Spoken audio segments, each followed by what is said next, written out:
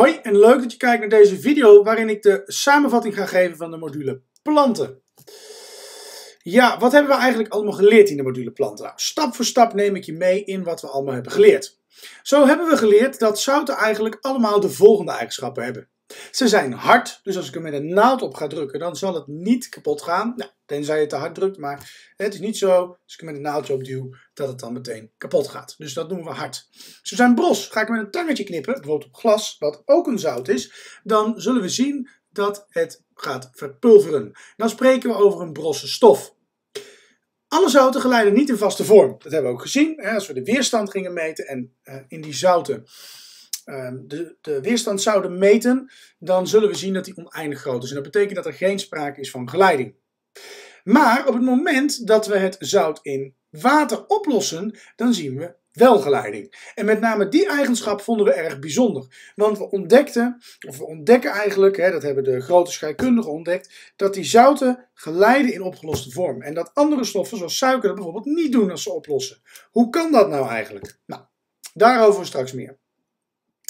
Um, we ontdekten op een gegeven moment dat zouten bestaan uit geladen deeltjes. En dat noemden we ionen. En in een experiment, uh, dingen die loopt, kun je bijvoorbeeld weer laten zien dat zouten, uh, als je daar verschillende polen op zet, ook verschillende kanten op gaan bewegen. En ionen betekent ook letterlijk dingen die bewegen. Ionos komt dat vandaan. Nou, het is heel belangrijk bij zouten dat ze wel bestaan uit geladen deeltjes, maar het zout in totaliteit is niet geladen. Dus er is altijd evenveel positieve als negatieve lading aanwezig in zo'n zout. En wat bedoel ik daar nu mee? Dat als je een positieve ion hebt, dat daar evenveel negatieve uh, ionen tegenover moeten staan qua lading. Dus als we kijken naar natriumchloride, het zout natriumchloride. En natrium is positief geladen ion, chloride een negatief geladen ion. En als je die bij elkaar in een zoutstructuur stopt, dan heeft het evenveel plusjes als minnetjes. NaCl is vandaar ook de formule. Nou, dat kunnen we bijvoorbeeld ook bekijken met um, de zoutformule van ijzer 2 nitraat. Die um, uh, 2 daartussen, de Romeinse 2, dat geeft aan welke lading er is. Want ijzer komt ook voor in 3 plus. Dus die twee streepjes hier tussen, die Romeinse 2 geeft aan dat het over het 2 plus geladen ijzer-ion gaat. En nitraat. Nou, de ionen daarvan zijn Fe2 plus en NO3 min. Die kun je ook vinden in de BINAS tabel 40a en 66 B. Dus daar kun je ook altijd kijken naar de samengestelde ionen. En die stonden ook op de vorige slide hier. Dat zijn dus ionen die niet uit één element bestaan, maar eigenlijk een combinatie ervan. Zoals het carbonaation, dat bestaat dus uit de C met daaraan ootjes gekoppeld. Dat is dus één ion. Nou, nitraat zien we hier ook. Dat is dus een N met drie ootjes aangekoppeld. Dat is dus één ion. Dat moeten we zien als één ion echt. En onthoud dat ook alsjeblieft. Nou, op het moment dat we daarna gaan kijken, dan zien we dus ijzer heeft 2 plus nitraat een minlading. Dat zou niet in balans zijn. Dat kan niet. Hè. De, fundamentele hoofdregel is dat dat niet kan bestaan. Er moet evenveel positief als negatief zijn. En uh, dus hebben we eigenlijk twee van die negatieve deeltjes nodig om dat op te heffen. Nou, dit uh, doen we ook altijd heel schattig. Dus we zetten er eigenlijk um, twee NO3 deeltjes tegenover. Nou, als je dat op deze manier gaat noteren, dan krijg je verwarring. Want nu zou je ook kunnen denken dat er 32 ootjes in zitten. Om die verwarring te voorkomen, uh, moeten we dat uh, samengestelde ion, als je er daar meerdere van hebt, tussen haken zetten. En dat zien we dan ook hier. Dus ijzer met tussenhaken NO3, het nitraat-ion. En dat hebben we twee keer nodig. De lading is nu neutraal. Het valt je misschien ook op dat ik hier de lading niet bij heb neergezet. Dat is namelijk niet verplicht als het in vaste vorm is. Uh, het mag natuurlijk wel. Ja, stel nu dat we dat eh, zout-ijzernitraat gaan oplossen, um, dan moeten we eigenlijk dat zout als volgt uh, voorstellen. Als we dat in bolletjes voorstellen, dit is een model, dus eigenlijk dat nitraat is weer um, drie uh, ootjes die aan een N gekoppeld zit, maar even schematisch weergeven zouden we ons voor, zo voor kunnen stellen. En die zitten keurig met elkaar in een rooster. Nou, op het moment dat we dat gaan oplossen, dan gaan die los van elkaar en dan krijg je dus ook drie losse deeltjes. En daardoor kunnen ook die deeltjes vrij bewegen van elkaar. Ze blijven dus niet aan elkaar zitten, maar ze gaan los van elkaar. En daar kunnen we gebruik van maken. Zie dus ook dat het hier als het ware wordt beschouwd als één deeltje. En hier als drie losse deeltjes. Hier zouden we dan ook kunnen zeggen is 1 mol aanwezig. Hè, stel dat we er hier 6,02 keer 10 tot de 23 van hebben. Want zoveel is 1 mol. Dan uh, zien we hier 3 mol deeltjes. Dus, en dat is ook een heel belangrijk principe. Dat moet je ook heel goed uh, begrijpen. Nou, op het moment dat we dat in een reactievergelijking zouden moeten weergeven, dan krijgen we hier die vaste stof. Die hebben we in de vorige slide bekeken, hoe die ontstaat. En tussen haken zie je een S staan. Dat geeft aan vaste stof. Nou, als we dat gaan oplossen, dan zou je boven die pijl plus AQ mogen zetten, is niet verplicht. Dan krijg je het ijzerion, AQ betekent opgelost in water, plus, en nu komt de truc, die 2 die hier eerst voor stond, komt er nu voor te staan, want het zijn twee losse deeltjes. NO3. En dit moet een um, 3 zijn. Ik zal dat meteen even corrigeren. NO3 min. Dus je ziet, eerst één deeltje, dat staat hier ook. En daarna zijn het drie losse deeltjes. Dat zie je hier ook. Eén Fe deeltje en twee NO3 deeltjes. Ja, waarom geleidt natriumchloride nou wel stroom en suiker niet? Stel nu dat we hier, hè, dit plaatje, zien we dat ook, daar hebben we er eentje met zuiver water. En dan zal de lamp niet aangaan op het moment dat we daar uh, uh, eigenlijk twee ijzeren plaatjes, elektrodes in stoppen in dat water. Dan gebeurt er niks. Op het moment dat ik er zout in doe, dan wel. Dan moet zout wel stroom geleiden. Maar hoe kan dat nou eigenlijk? Nou, daarvoor moeten we eerst even nadenken. Wat is volgens natuurkundigen nou eigenlijk het geleiden van stroom? Nou, voor natuurkundigen is het geleiden van stroom het verplaatsen van een lading. He, verplaatsen verladingen. Dat staat hier ook en ik zal het ook even onderstrepen. Dus eigenlijk de lading, de elektronen verplaatsen zich. En als dat er is, dan spreken we van een elektrische stroom. Nou, als je daar meer over wil weten, gezellig naar je natuurkundeleraar. Maar voor ons begrip nu is dat voldoende om te begrijpen waarom natriumchloride nou wel geleidt en suiker niet. Want we hebben eigenlijk geleerd dat natrium een positief geladen ion is en chloride een negatief geladen ion. Nou, dat positief geladen ion en dat negatief geladen ion, dat gaan los van elkaar. Want natriumchloride is een goed oplosbaar zout. Die gaan los van elkaar. Nou, op het moment dat er dan spanning komt te staan op twee elektroden, dan kunnen die ehm, geladen deeltjes zich vrij bewegen door de oplossing. Er kan dus een verplaatsing van elektronen plaatsvinden, E-. Dat zijn elektronen. Als die uh, elektronen, dus die geladen deeltjes eigenlijk, hè, dat is bij uh, natuurkunde zo, elektronen verplaatsen zich. Nou, hier verplaatsen geladen deeltjes zich. Als lading zich kan verplaatsen, ja, dan moet er wel geleiding zijn. Nou, hoe moet je dat nou kunnen um, um, uitleggen uiteindelijk? Um, dan moet je dat als volgt kunnen zeggen. De ionen van, in dit geval natriumchloride, zijn geladen deeltjes die vrij door de oplossing kunnen bewegen. De lading kan dus verplaatsen en daarom geleidt een, keuken, een zout wel en suiker bijvoorbeeld niet. Want suiker bestaat uit niet gelaten deeltjes, namelijk gewoon uh, de, de suikermoleculen. En die hebben geen lading en omdat ze geen lading hebben, um, kunnen ze dus ook niet geleiden. En daar zijn ze heel erg verdrietig over. Nou, een niet oplosbaar zout geleidt dus niet. En waarom niet? Ja, die geladen deeltjes kunnen zich niet verplaatsen. En besef je dat, leer dat echt. Het gaat dus om die geladen deeltjes die zich kunnen, die los van elkaar gaan en vrij kunnen verplaatsen van een oplossing. Zilverchloride, het zout zilverchloride, AgCl, kan zich niet verplaatsen door een oplossing, omdat het een slecht oplosbaar zout is. En daardoor zal er ook weinig of geen geleiding optreden. Je zult misschien wel een heel klein beetje geleiding zien, omdat het wel een heel klein beetje oplost, maar bijna niet waarneembaar. Nou, die eigenschappen waar we het net over hadden, hart en bros, die kunnen we eigenlijk met elkaar verklaren. En hoe kunnen we die nou verklaren? Nou, hart en bros. Ik begin maar eens even met hart. Als we kijken naar dat ionrooster, dan zien we uh, dat die zouten uh, keurig netjes naast elkaar gaan zitten. Het negatieve naast een positief, negatief, positief. Waarom? Positief en positief, dat stoot elkaar natuurlijk af. Nou, dan krijg je zo'n keurig rooster en dit zou het rooster kunnen zijn van keukenzout, natrium, um, chloride. Nou, um, hopelijk begrijp je dat dat hier staat.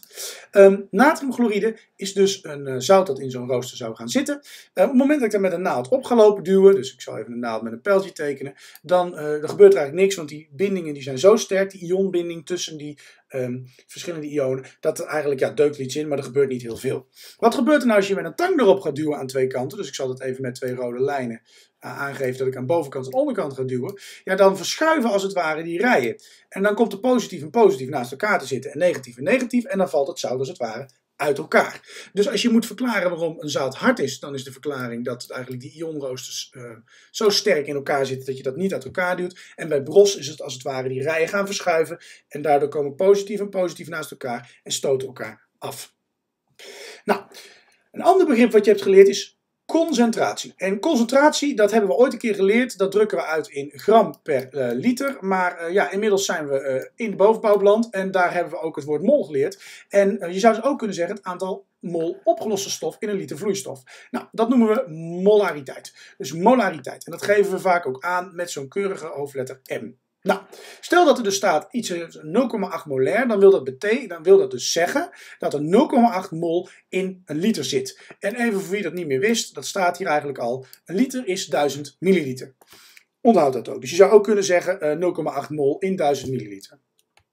Nou, um, je hebt niet altijd een liter van een vloeistof. Sommige vloeistoffen zijn ongelooflijk duur om te gaan kopen. Uh, en daarom uh, kun je soms ook bij de TOA wel veel minder krijgen. Maar dan weet je nog niet hoeveel daarin zit. Want als je niet een liter neemt, dan zit er natuurlijk niet 0,8 mol in.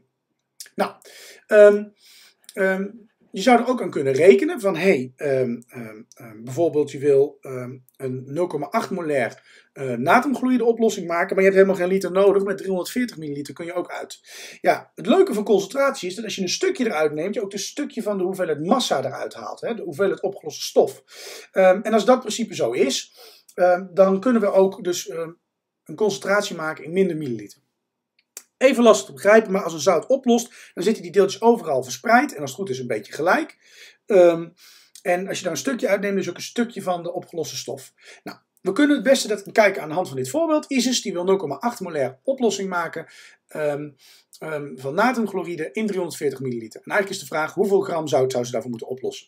Nou, de eerste stap is dan berekenen hoeveel mol heb je eigenlijk in 340 milliliter. Want 0,8 molair, dat wilde een slide terug nog zeggen, ga even kijken, dat er 0,8 mol in een liter zit. Maar ik heb geen liter, ik heb 340 milliliter. Dus ik moet eerst eens gaan berekenen hoeveel daar dan in zit. Nou, dat kun je met zo'n prachtige verhoudingstabel doen. En heel eerlijk gezegd, dit is wiskunde, wat doen we in klas 1. Dat is niet vervelend bedoeld, maar zo'n tabel zou je moeten kennen. Als je dat niet meer kent, dus google dan vooral eens even op verhoudingstabel. Nou, Um, we weten 0,8 molair, dat wil zeggen dus 0,8 mol in 1000 milliliter. Dan gaan we eerst maar eens kijken hoeveel zit er in 1 milliliter. Nou, dan moet je hier delen door 1000. Dan moet je dat daaronder ook doen. Dat hebben we geleerd bij wiskunde in klas 1. En dan kom je uit dat er in 1 milliliter 0,0008 mol van die stof opgelost is. Nou, ik heb niet 1 milliliter, maar 340 milliliter. Dus boven keer 340 en onder ook. Want wat je boven doet, doe je onder ook en andersom. Dan kom je uit op 0,072 mol. We weten nu dus dat er in die 340 milliliter 0,072 mol zit. De vraag is nu, ehm, als ik de massa ga berekenen, ehm, de vraag is eigenlijk natuurlijk niet, ehm, die ik net zei, hoeveel mol zit er dan in? Nee, de vraag is, hoeveel gram moet ik oplossen dan om eh, in die 340 milliliter te krijgen? Nou, dan ga je de berekenen van de hoeveelheid, uh, de massa, met behulp van de hoeveelheid mol die we hup, daar hebben berekend. Nou, we weten dat het aantal mol 0,072 is. De molaire massa die kun je vinden in Bina's tabel 98 of met behulp van het periodiek systeem. Je vermenigvuldigt die twee met elkaar. En dan kom je op het antwoord uit. Nou, dat zie je hier, dat doe ik hier ook. En dan kom je uit op 15,9. Dus om een 0,8 molaire oplossing natriumchloride te maken in 340 milliliter, moet je 15,9 gram oplossen. En niet um, 58,44 keer 0,8, want je hebt helemaal geen liter. Dus 15,9 nou, 15,9 gram oplossen in 340 milliliter. Um, niet alle zouten lossen dus uh, goed op. Um, soms als je zouten samenvoegt krijg je een neerslag. En een uh, neerslag wil zeggen um, eigenlijk dat er twee uh, ionen bij elkaar in de buurt komen die als ze een zout zouden zijn niet goed oplossen. Dus op het moment dat die elkaar tegenkomen, zeggen ze, hé, hey, we gaan een neerslag vormen. Nou, of zouten goed oplosbaar zijn of slecht oplosbaar zijn, dat kun je vinden in Binnen's tabel 45a. Um, stel nu dat je zilvernitraat oplossing gaat samenvoegen met natriumchloride, dan uh, kun je zo'n keurig tabelletje maken. Dan zet je alle positieve ionen onder elkaar en alle negatieve ionen naast elkaar. Mag ook andersom hoor. En dan kijk je gewoon in Binnen's tabel 45 en dan ga je kijken Zilvernitraat, dat lost blijkbaar goed op. Natriumnitraat ook. Zilverchloride lost blijkbaar slecht op. En natriumchloride lost goed op. Nou, dat is ook uh, logisch, want daar had je oplossingen van. Dus dat zilvernitraat en natriumchloride goed oplossen, dat is eigenlijk al te voorspellen uit de vraag. Uh, maar zilverchloride, dat, uh, dat lost niet goed op. En dat kun je vinden in de BINAS-tabel. Dit gaat dus een neerslag vormen. Neerslag.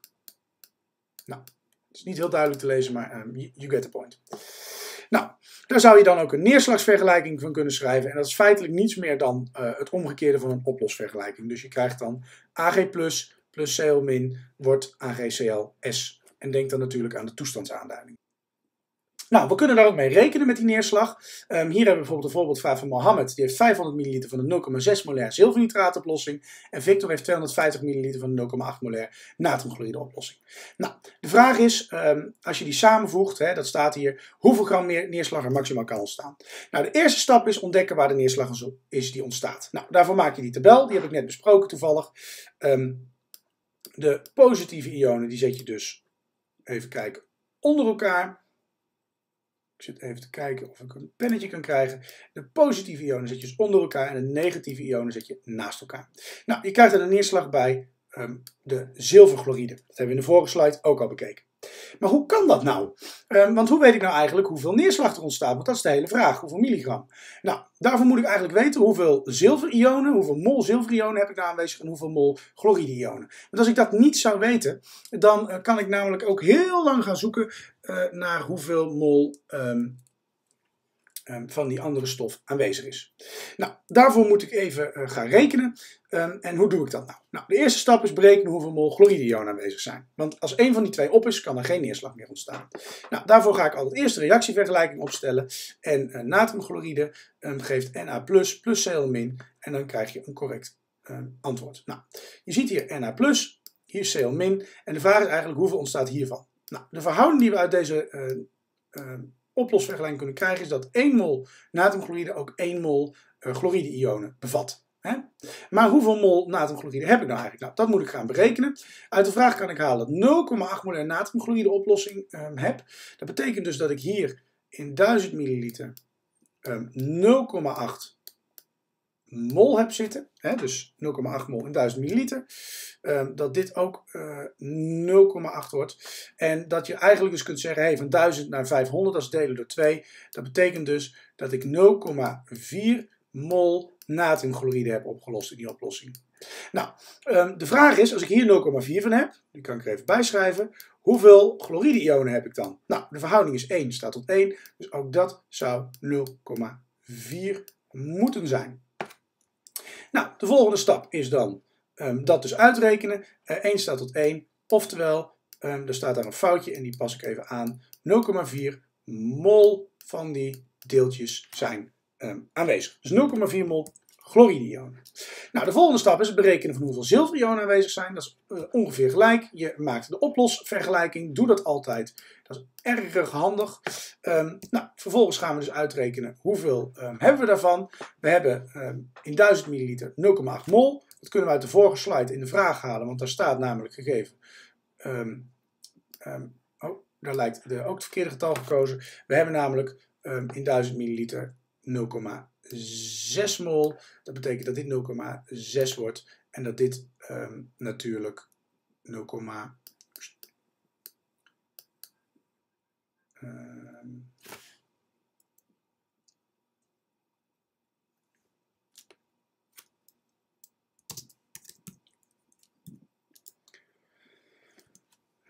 vijftien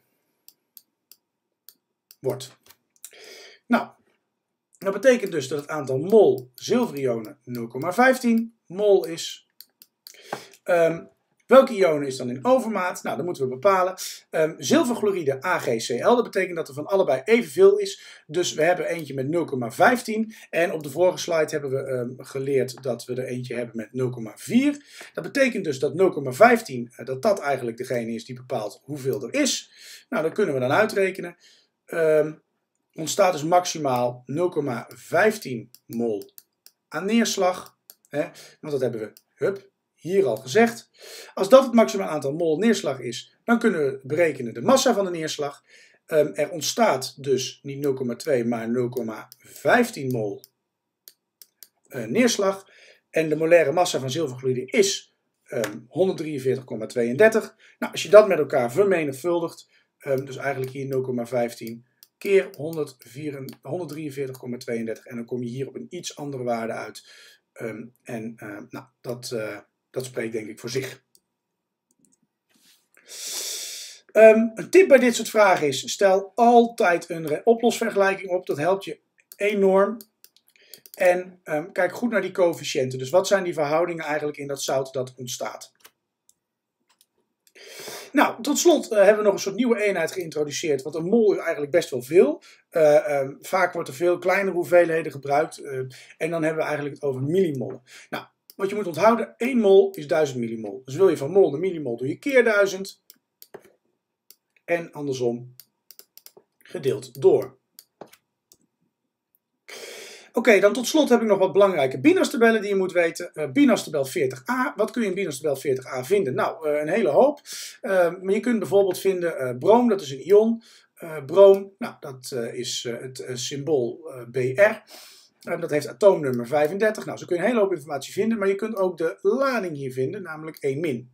Um, nou, dat is belangrijk om uh, te kunnen vinden. Dus mocht je niet meer weten, uh, bijvoorbeeld wat uh, nou het magnesiumion is, dan zou je in tabel 40a kunnen gaan zoeken naar magnesium en dan kun je dat allemaal gaan vinden. Um, de ionlading is eigenlijk het belangrijkste wat je er kunt vinden. Het atoomnummer is ook wel handig. het symbool, dat kan eventueel ook natuurlijk in het periodiek systeem der elementen. Um, nou, zo kun je dus op naam zoeken en staat op alfabetische volgorde. Um, tabel 45a die is ook heel belangrijk. Waarom? Daar kun je namelijk de oplosbaarheid vinden. Even belangrijk is om te weten dat een M voor de jullie betekent uh, dat het slecht oplosbaar is. En eigenlijk een R zullen we nooit vragen, maar anders mag je dat ook behandelen als slecht. Dus een M is ook eigenlijk slecht. Het betekent eigenlijk matig oplosbaar, maar uh, dat kennen jullie eigenlijk niet zo. Dus een, een R uh, die zullen we in principe niet vragen. Nou, waar die ook handig is voor is, naast de oplosbaarheid, is gewoon het vinden van de lading van de meest voorkomende. Want je ziet hier bijvoorbeeld natrium plus, kalium plus, magnesium 2 plus, aluminium 3 plus, ijzer 2 plus. En hier zie je 3 plus, dat geven we dus vaak aan. Hè. Dan zal er tussen haakjes zo drie van die streepjes staan. Dan bedoelen we die met 3 plus. Um, let dus even op, die kun je hier wel vinden, maar dan moet je wel weten dat Na natrium is. Dus uh, mocht je dat niet kunnen, dan verwijs ik je weer naar 40a van de vorige sheet. Nou, uh, Pinates tabel 66b is handig voor de samengestelde ionen. Dan kun je overigens ook de lading vinden van de samengestelde ionen. Dus als je niet meer weet wat, uh, als ik begin over natriumcarbonaat, dan kun je carbonaat hier vinden. Dan ziet, staat hier bijvoorbeeld hier. Nou, eigenlijk is dit in een notendop waar het boekje planten over gaat. Um, hopelijk was het duidelijk voor je en heeft het je geholpen uh, bij weer even herhalen wat de lesstof is. Het beste wat je nu kunt doen is dat oefenen met rekenen. Dat kan op www.kraant.nl slash havo. En vond je dit nou een leuke video? Klik dan even op like en subscribe. En dan gaan we door met het maken van dit soort content. Ik wens je met de voorbereiding van je toets heel veel succes! Ja, wij zijn al onderweg naar Aruba natuurlijk. Genieten van het mooie weer. Samen met een flesje cola, want anders komen we natuurlijk uh, deze week niet door. Nee, precies. Nou, mijn chips ligt daar, want daar loop ik zo meteen even naartoe. Maar voor dit nou een leuke video en weer dat ook kenbaar maken, klik dan even hier op like en subscribe. En dan zien we jullie bij de volgende video weer. Tot dan! Doei!